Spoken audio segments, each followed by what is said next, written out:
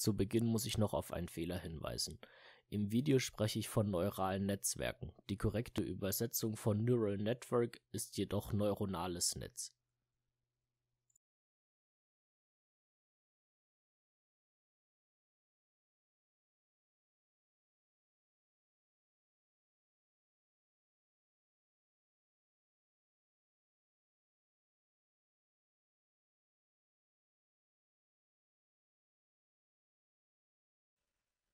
Das ist ein neurales Netzwerk, genauer gesagt die Struktur von einem neuralen Netzwerk.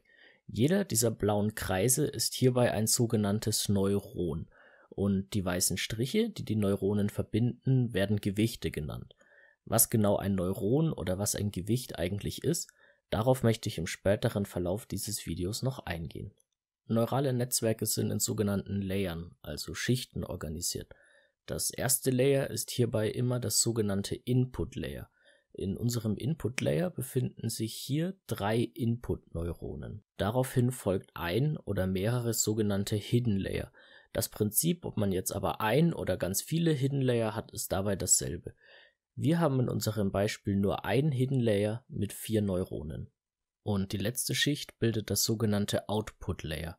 Wir haben hier zwei Output-Neuronen in unserem Output-Layer. Bevor wir uns jetzt aber die Funktionsweise des neuralen Netzes anschauen, möchte ich zunächst eine Blackbox über den Rest des neuralen Netzwerks legen und den Fokus zunächst auf das Input-Layer und auf das Output-Layer legen. Zunächst benötigen wir für unser neurales Netzwerk einen Input. Das Input ist unser Input-Vektor x. Hierbei ist wichtig, dass der Inputvektor nur Zahlen enthalten darf, also sind Buchstaben oder sogar Objekte verboten. Zusätzlich muss die Länge des Vektors, also sprich wie viele Elemente der Vektor hat, mit der Anzahl der Input-Neuronen des neuralen Netzes übereinstimmen. Unser neurales Netzwerk berechnet dann auf Basis unseres Inputvektor x einen Outputvektor O, Hierbei ist auch wieder wichtig, dass die Anzahl der Output-Neuronen die Länge des Output-Vektors vorgibt. Nun stellt sich die Frage, was ist denn eigentlich der Input und der Output von unserem neuralen Netzwerk? Also sprich, was geben wir da rein, was haben wir davon? Angenommen, wir möchten einem Auto beibringen, selbstständig zu fahren. Dann könnte unser Inputvektor zum Beispiel die Distanz zu den Wänden in den drei Richtungen links, geradeaus und rechts enthalten. Unser Output-Vektor könnte dann zum einen sein, um wie viel Grad das Lenkrad eingeschlagen werden muss und wie schnell das Auto fahren soll. Wir haben jetzt schon ziemlich lange über Neuronen geredet, ohne eigentlich zu wissen, was Neuronen genau sind. Was ein Neuron jetzt ist, das möchte ich anhand dieser Grafik erklären. Und keine Sorge, die Grafik sieht deutlich komplizierter aus, als sie eigentlich ist. Hierbei repräsentiert wieder jeder Kreis ein einzelnes Neuron. Der große Kreis in der Mitte ist das Neuron, anhand dem wir uns anschauen wollen, wie das Ganze jetzt funktioniert. Die Neuronen x11, x12 und x13 sind alle Neuronen aus dem vorhergehenden Layer von unserem aktuellen Neuron. Und die Gewichte W1, W2 und W3 verbinden die Neuronen aus dem letzten Layer mit unserem aktuellen Neuron. Am besten lässt sich das Ganze an einem Beispiel erklären. Wir setzen jetzt den Output von unserem Neuron x11 auf 0,4.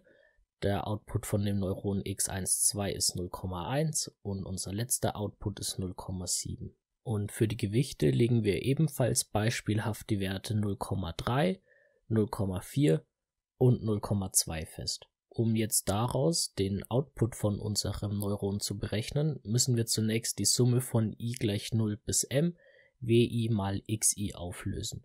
Das funktioniert ganz leicht, indem wir zunächst 0,4 mal 0,3 rechnen, darauf 0,1 mal 0,4 addieren und auf dieses Ergebnis nochmal 0,7 mal 0,2 addieren.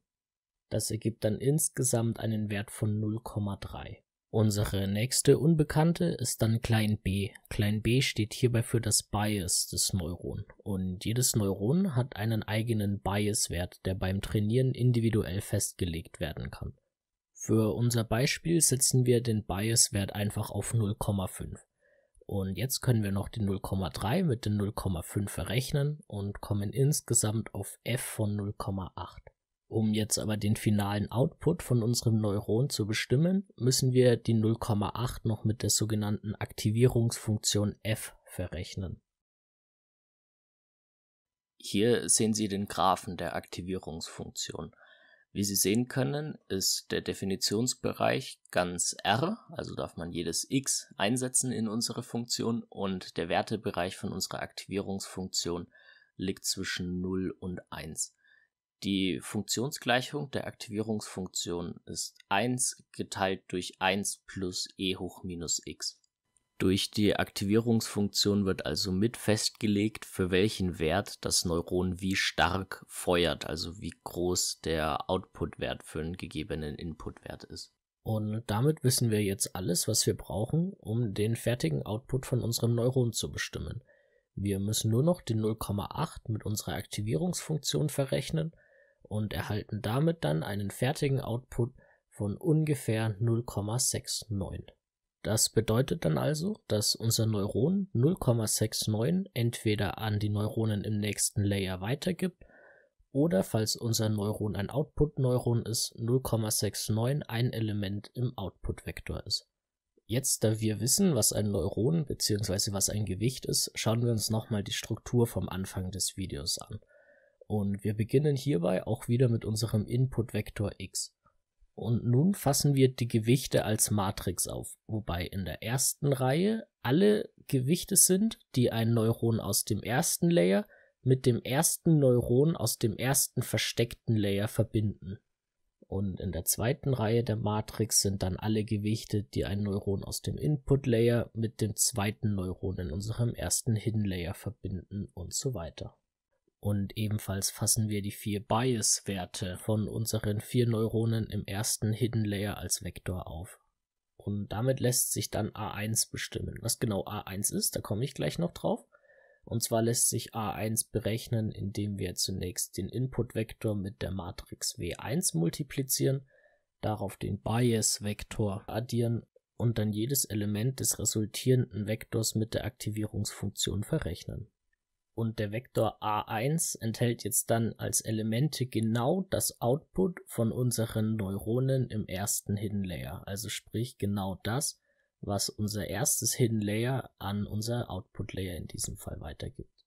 Und wenn wir dann die Gewichte, die das Hidden Layer mit dem Output Layer verbinden, wieder als Matrix auffassen, sowie den Bias Vektor auch als Matrix auffassen, können wir so dann A2 berechnen und A2 ist dann auch schon der Output von unserem neuralen Netzwerk.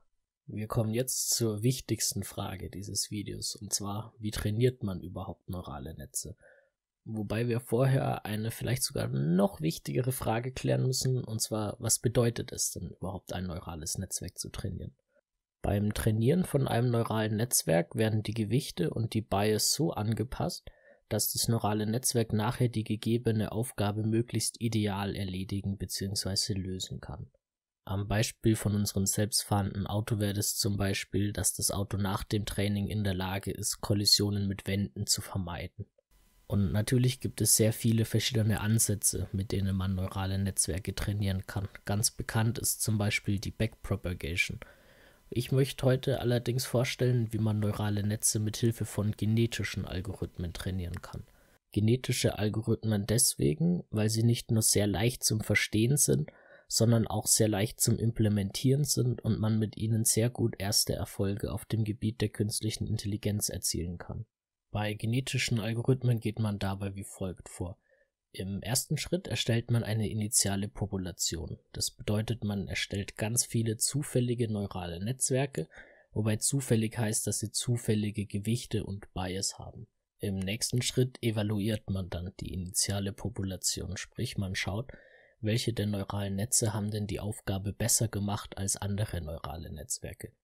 Im Beispiel von unseren selbstfahrenden Autos könnte man zum Beispiel umso mehr Punkte verteilen, umso seltener die KI das Auto gegen eine Wand gefahren hat. Und zum Schluss bildet man dann eine neue Population auf Basis der initialen Population.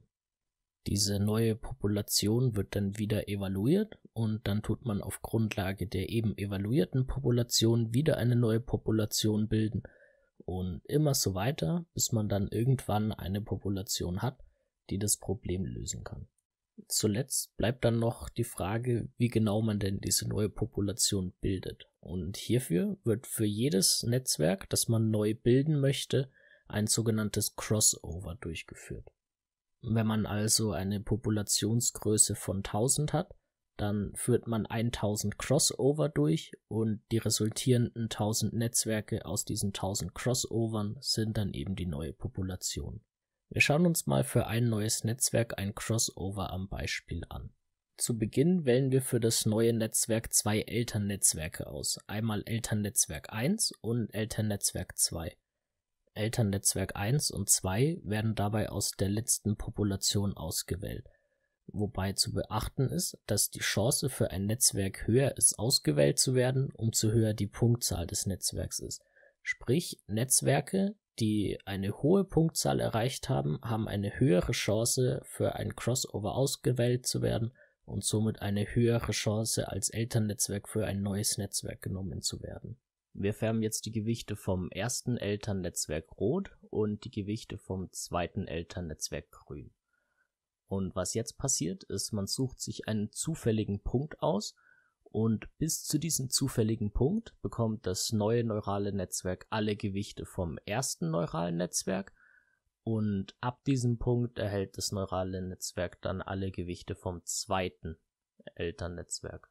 Dasselbe wird dann noch für die Bias durchgeführt. Man sucht sich wieder einen Schnittpunkt, im Idealfall sogar denselben Schnittpunkt und dann wieder bis zu diesem Schnittpunkt erhält das neue Netzwerk alle Bias vom ersten Elternnetzwerk und ab diesem Schnittpunkt dann alle Bias vom zweiten Elternnetzwerk. Im letzten Schritt geht man dann nochmal alle Gewichte und Bias des Netzwerks durch und tut diese mit einer gewissen Wahrscheinlichkeit verändern. Die Wahrscheinlichkeit, mit der ein Gewicht bzw. Bias verändert wird, wird hierbei Mutationsrate genannt. Eine Mutationsrate von 0,02, also 2%, bedeutet hierbei, dass ein Gewicht bzw. Bias mit einer Chance von 2% verändert wird. Und um wie viel ein Gewicht bzw. Bias verändert wird, gibt die sogenannte Mutationsrange an.